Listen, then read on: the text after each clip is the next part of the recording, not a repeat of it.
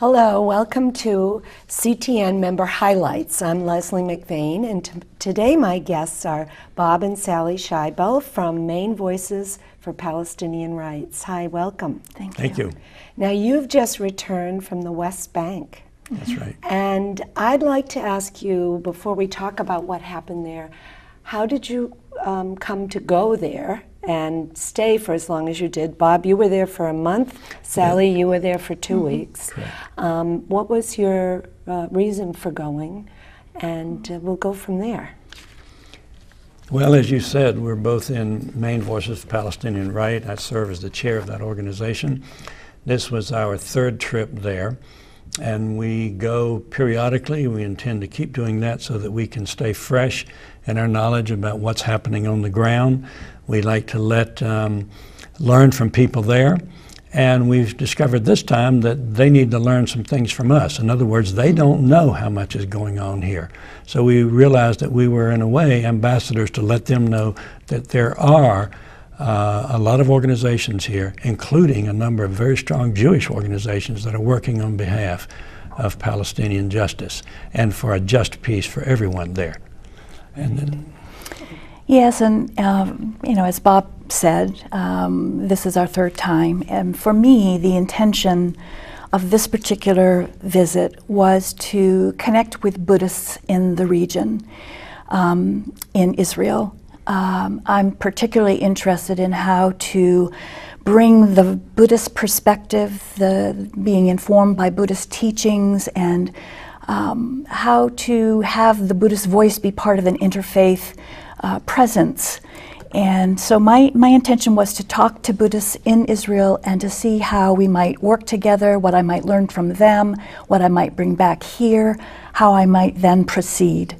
And that's all part of the Buddhist teaching, isn't it? To, to listen, to talk, to teach, to. and to be compassionate. Right. Yeah. That's lovely. I should probably add here that the more specific reason we went when we went is that last summer, a young um, Palestinian man in his late 30s, he was a history teacher there, he came over to Maine as part of the Seeds of Peace for Educators program.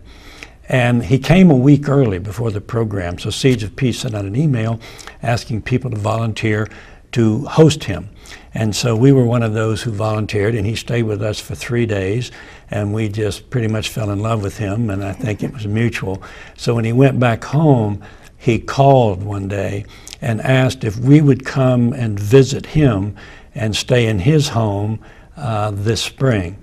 So we had, we were actually planning on maybe to going next year, but we thought, well, what an opportunity. So we went over this year and uh, stayed in an apartment of his in the little uh, West Bank village called Al Ram. oh, what an opportunity that most people never get. Oh, yes. Yeah, and one of the things that was really wonderful about this particular visit, um, because we were staying as a guest of a Palestinian um, cit- you know, person, um, we were part of the community. We, When we've gone before, we've we've had mostly um, hotels that we stay in. We're with part of a group.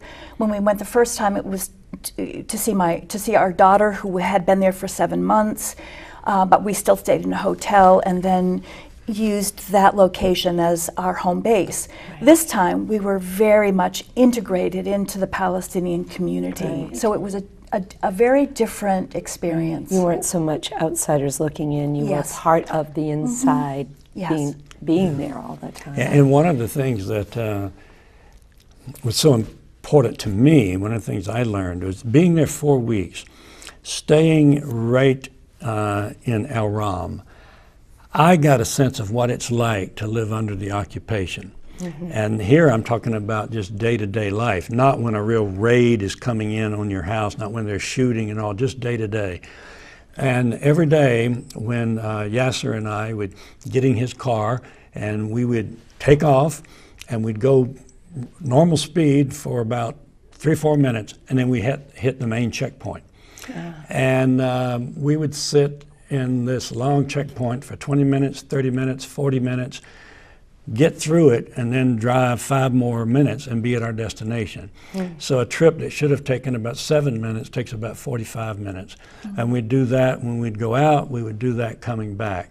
So I got a real sense of what kind of patience is required Right. to live under that kind of regimen and what kind of um, struggle it is to deal with the air quality hmm. because you're sitting there with sometimes two three lanes of traffic. And all that and all of exhaust. they're just sitting there waiting mm-hmm. on the checkpoints.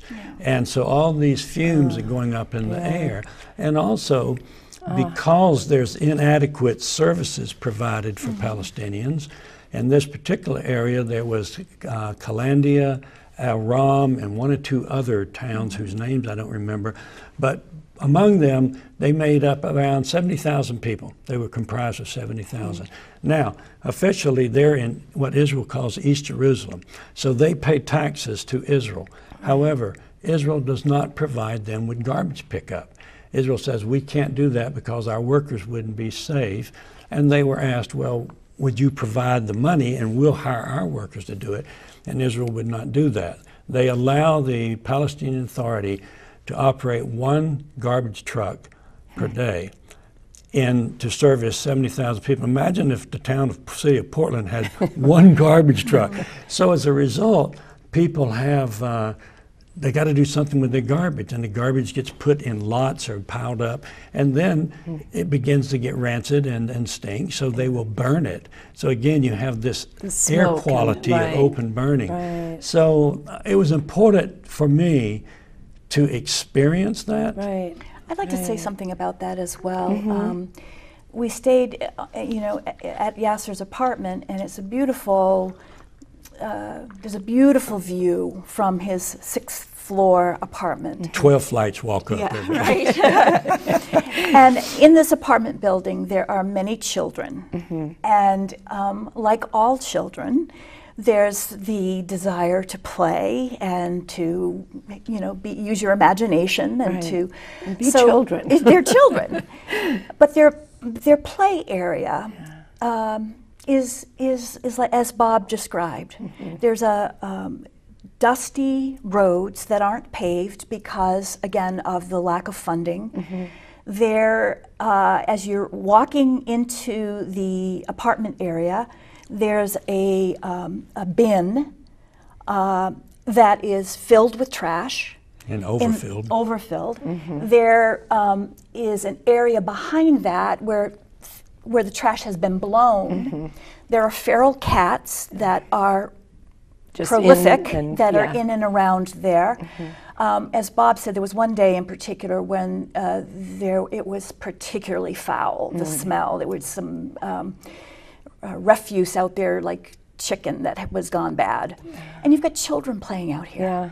And that is the norm This is the norm. for these And you know, children. there's another interesting story we encountered. One day we went to Bethlehem, and the um, a man named Mazen, uh, who's the executive director of the Bethlehem uh, Development Foundation, a very sharp man, uh, arranged for us to have a tour. Um, and so we went up to Batir, which is a small Palestinian village. The people of Batir use aqueducts built from the Roman era. They mm-hmm. still use them. Mm-hmm. They have springs there. They use the water from the, those springs and that aqueduct to water their various family plots. There are 8 mm-hmm. Palestinian families that have lived there for generations. And Sally asked this tour woman there, have the families gotten in disputes over, sometimes over who gets enough water or we need more water? And she said, for my entire lifetime of being here, I've never mm-hmm. had seen a dispute. Mm. So one of the problems that they're dealing with, though, is what do they do with their refuse? right. So they did an elaborate study and they came up with plans for um, building, uh, getting a landfill and for money to, to get the truck to uh, take their refuse to this landfill. They had all the, they had to go through licensing permits with Israel to get that. So they did it and they were ready to go. And they had some international funding. I They had some international funding. And then they learned from the state of Israel, oh, there's one more license that you have to get, a They permit ready you to have go. to get. They were ready to go, They yeah. said, this is a permit which you will get if you agree to pick up the refuse of the settlers who live down in that part of uh, the country. So if you'll go pick up their trash too and put it in your landfill. Well, they hadn't designed their landfill to handle that, and so they had to just scrap it. Yeah. Had to scrap it. So that's one of the, the frustrations that Palestinians frustrations, are yeah. dealing with. The uh, a man who is a um, an, an engineer Uh-huh. uh, was showing us a road that was being built around some of the terraces. These terraces go back to three to 3,500 years, Mm-hmm. and uh, he showed where the town, uh, an area where the town had saved up its money and had blacktopped about two kilometers of that. Um, that was going to help them when they harvested their crops for market to deliver them. And uh, Israel sent a bulldozer in and just tore up two kilometers of blacktop. It's hard to imagine how that's improving the security of Israel. right. But I mention these things again to say here is some of the frustration that Palestinians living under the occupation are dealing with. Right. And by being there, you felt this. I want to go back a little bit to the checkpoint that they have there. When you went through with your host, um, and you have to show your passport, were, were you questioned um, a little bit more than you would have thought? Not at the checkpoints. Um, at the checkpoints, they they looked at my passport, they looked in, looked at me, and then said, "Okay." Now, when we were coming into mm-hmm. Israel, though, at the airport, we presented our passports to the woman sitting behind in the little booth, and she asked us, as they always ask people, "Why are you here?" And I think she at some point asked, "Who are you staying with?" Mm-hmm. So we told her that we were staying with Yasser Abadiah. And well, that name, I guess, if you if you mention a Palestinian name, some red flags go up. So she kept us standing at that booth for what, 15 or 20 mm-hmm. minutes, mm-hmm. and then some people or two people came over, or one person, and she handed our passports to him and said, "Follow him." So we mm. went to a little room where we sat for close to an hour. And then a man came and called me out, and I went to a separate room, and he asked me a series of questions like, Why are you here? and Who are you staying with? And I gave the same answers I gave before. And um, so he had some questions about uh, Yasser and this kind of thing, and then said, Okay, you can go back now. And the whole time we were talking, he was on his computer, so I do not know what he was looking at, what he was finding. Um, but I went back to the room, and then maybe a half hour later, uh, the same man came to the door and motioned us out and gave us our passports and said, "You can go." And there was no explanation No, as to no, why. no. I had heard that um, in general it is difficult that, Mm-hmm. that you are either searched or Yeah. questioned a lot longer than um, you would What I- think. I'd like to go back to that, that point about the checkpoints, though, Right. because there were two incidents, though, that I that I found um, distressing. Uh, one one time I was um, visiting with uh, a new friend there, a woman named Lama, uh, who has uh, four children, and she was uh, she wanted to know if I wanted to go with her to pick her children up at school Right. and I went along with her. On the way back through the checkpoint, so the way thr um, the right way out, we had no that we weren't stopped, stopped at all, but the way back. Uh, we had to show our pass. I had to show my passport, and Lama has a Palestinian ID that she needed to show. And Lama is searching in her pocketbook. She's searching and searching. She cannot find it. She takes everything out, and I can. I'm watching her. She's not saying anything, but I'm. You know, I'm very aware of body language. I'm a mm-hmm. psychotherapist, and I also, and I'm so I'm very tuned into those kinds of things. And I'm watching this anxiety. Mm-hmm. And at one point, she looks at me and she said, "I changed my bags earlier, and my pat my ID was split in half. You know, the cover of it was separated." Mm-hmm. And she said, "I took the wrong one." Ah. So she, they had her pull over, and uh, a young woman, uh, you know, usually the, the soldiers who are um, standing at the checkbook uh, points are between the ages, I would say, of 18 and 21, let's say, for example. A young woman comes and she looks at, uh, she looks inside, and Lama says, I don't have it. And she said, and she explained why.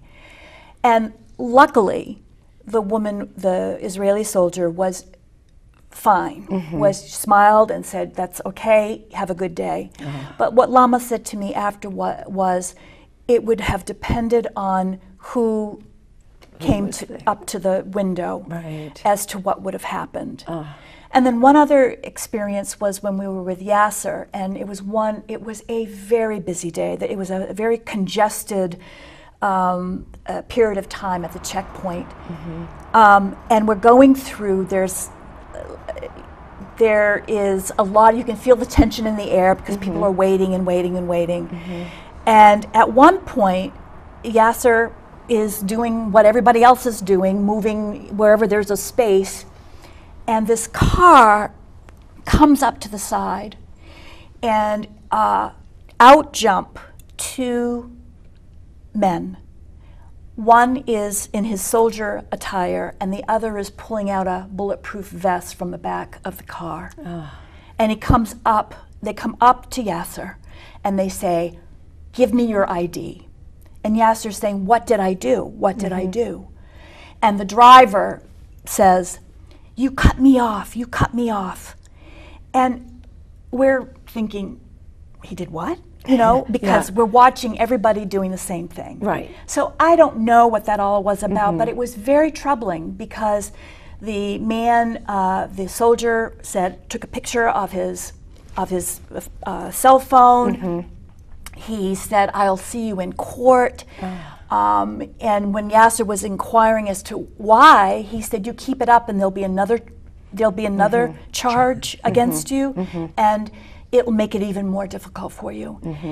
It, it was harassment. Yeah. I mean, and I and I just ah, it was it was very painful to see this happening. Yeah. And this is something that they're living under that anxiety of having yeah. happen, happen Yeah. any Yeah. time. Yeah. And now that he's been targeted in a way, Yeah. he'll probably have even more anxiety. Yeah. exactly. I mean, so you think about a whole community of people living with that. Mm-hmm. And you know how you you are when you're under mm-hmm. anxiety. It oh, just depletes you in all ways. Yes. And your your everything falls mm-hmm. apart. And to have a whole community living like that every day. Yes. You know, I in, in the states here, I'm traditionally been the kind of person that speaks his mind, and if I feel that I'm being treated unjustly or somebody close to me is being treated unjustly, I speak up rather forcefully. And I realized when I was there for this month, and not going through with a tour group, but just there as a person with an ordinary person there, that when I came to a checkpoint or any other place where there were Israeli police or soldiers around, I realized that um, I couldn't I couldn't exert my rights and demand my rights in the way I can here. Yeah. Could not do it. And it could be some 18, 19 year old kid who's being rude, and this time I didn't have anybody treating me that way, but I know at times they do treat people that way. And I realized, though, e- even when we were waiting in line Mm-hmm. for 45 minutes, if I'd been back here, I think I would have wanted, when I get up there, to say, Would you explain to me why this is Yeah, happening? yeah. Is this really necessary? But you and I realized I could not do right. that. I you had didn't, well, you didn't feel the freedom to I do didn't that feel the freedom to do that. I realized if I that- Mm-hmm. protest, they can yank me out of that car, put me in jail, or just deport me in, in an instant. And that's kind of a transition into what happened while you were there. Mm. It's when the three young boys went missing. Um, do you want to address that a bit? It's it's a big concern for everyone. It's it's it's world news. Um, Yeah. Nobody knows what has happened. Right. Um, but you were actually there, Uh, Sally. I think maybe you had come back. At I had that come back, point. so I was following it. You were following it from, here, Mm-hmm. and Bob was following it Yes. from there. And were you in touch with each other about the various ways news is, is projected when something like that happens. Yes. Um, tell us, Bob, when you first heard of it. Well, um, I heard about it from my friend Yasser because he's reading the news every day in Arabic, and he told me that it happened. And my first reaction was, "Oh no, no, no! Please don't tell me this has happened because the Palestinians don't need this." My hope, and it has not proven to be true, but my hope was that okay, if some Palestinians did kidnap these three boys, I hope what they do is keep them for 24 hours and then call a press conference, release them, and say, we had no intention of harming these kids. We simply wanted to get the world's attention to the fact that our children are being kidnapped every day, mm-hmm. every day, and the world is not making a clamor about it. Mm-hmm. I think that would have been such a great statement for the mm-hmm. Palestinians to made. Unfortunately, they're not seeking my advice on how to do things, and they have their own timetables and their own rationale. Now, so far, it's just alleged that they're kidnapped. My own guess is that they have been, um, but there's a what distresses me is that in our media, there is no context provided for this, and context is extremely important. Um, three Israeli settler youth were, let's say, kidnapped. We'll just assume that for the moment. Okay, that's that's awful. That's bad. It should not have happened. But once we've said that, we've not said all that needs to be said in order to have a fuller understanding of what has of the dynamics here. For one thing, people need to know, and I, I read this information when I was over there. This is the Haaretz.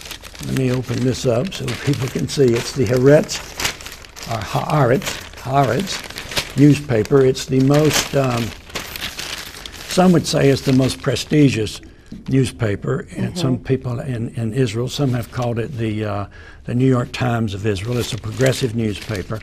And so I was following what was going on in this paper because they put it out in English as well as in the Ju- Jerusalem Post.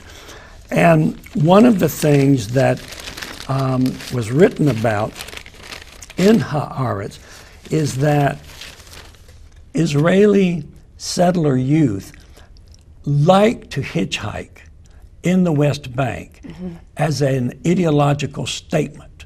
And I found this in a paper. Um, a gentleman by the name of Nitzan Nuriel, who's a former uh, director of the Counterterrorism Bureau of the Israeli Prime Minister's office.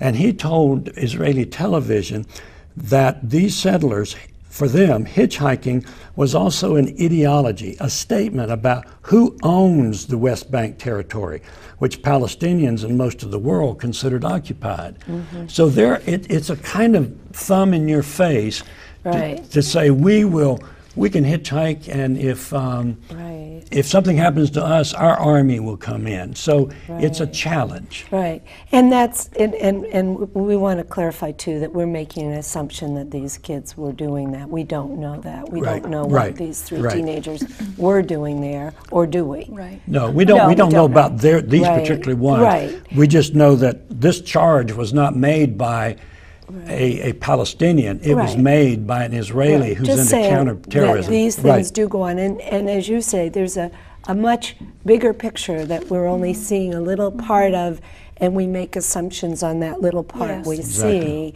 Exactly. Um, but we also have to realize too that Palestinians are not all the same.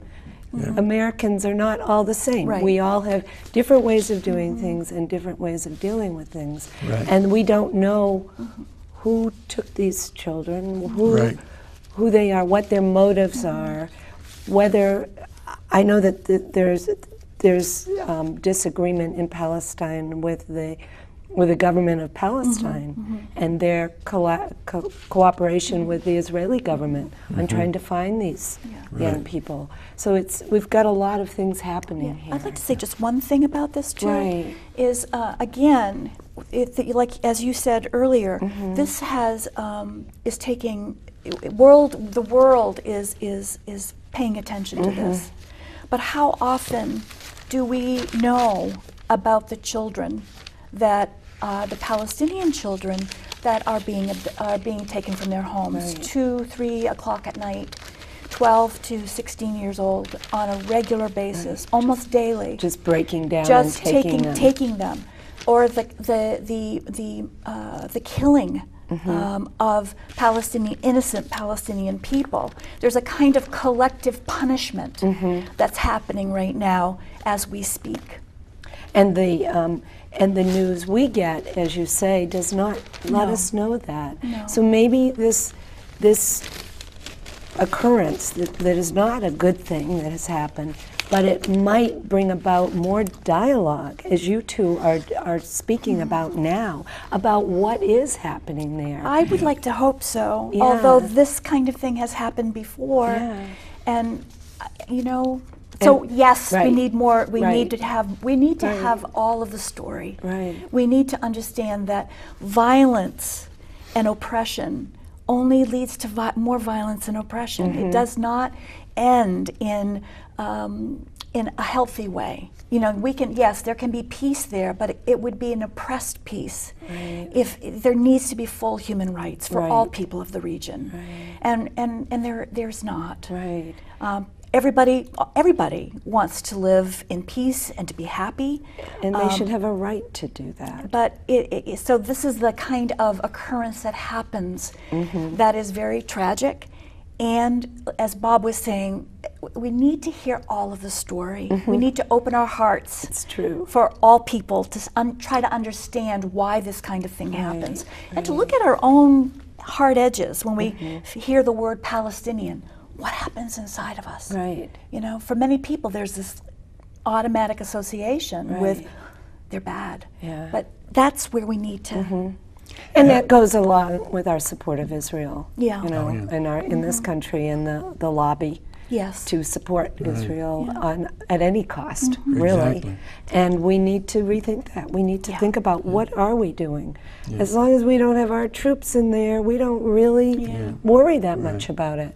Um, I, I know we we don't have much time, so I want to kind of transition into why you were there, because this, to me, being with the Buddhist group, plays into this this bigger whole of peace and love and giving and and understanding. Mm-hmm. Could you say a little bit about that? Yes. I met with two people, one in particular that I'll mention. His name is Stephen Fulder up in mm-hmm. Klil, up in the northern part of Israel. He was the founder, really, of the Buddhist community as it began mm-hmm. um, many, many years ago. I asked him, you know, for his advice, for his perspective, that sort of thing. And, and he, he said a couple things. One is that in his experience, um, Jews in Israel uh, are um, quite ignorant of what happens in the West Bank. That there is some willful ignorance, which is a turning of the head and not wanting to see. There is deep fear because of, you know, what Jews have experienced historically. And that there is great denial and guilt that is down, the guilt is, is, is buried deep inside. And he's, he's quite concerned about that. Um, I think we might have to wrap Yes. this up, and so if you want to end that, I, Yeah, I yeah. we could so- go on for another yeah, hour. right. I mean, so my intention is that, that this the, this dialogue with Mm-hmm. the Buddhist communi- community in um, Israel is continuing. I think it's And- wonderful, and maybe you'll come and I have a blog about that. I would like to mention my blog, Buddhist Travels in the Holy Land, which uh, are reflections of my of my trip through the lens of Buddhist teachings. So my hope is that that, that will be an ongoing dialogue thing as well. I think that's great. Do we have a minute? We have really like a, not even a minute. Okay, I just want to emphasize the importance, and I wish I had more time to give the context. The number of Palestinian children who are killed, who are kidnapped, and we don't hear about those. So we hear about this, this happened recently, and then the public is inclined to say how awful those Palestinians are. Look at them. They're, once again, they're, they're causing Right, trouble. right. You think that way when you're not getting the, The full story. picture. I Yeah. agree. Okay. Well, thank you both. Thank you. And I know that people can go to your webpage Yeah. and your blog and They can find go to Maine more. Voices for Palestinian Rights website. And I would like to invite you both back to continue this Good. We would love it. And um, soon. Thank Good. you. Thank Thank you you. very much. Bye bye.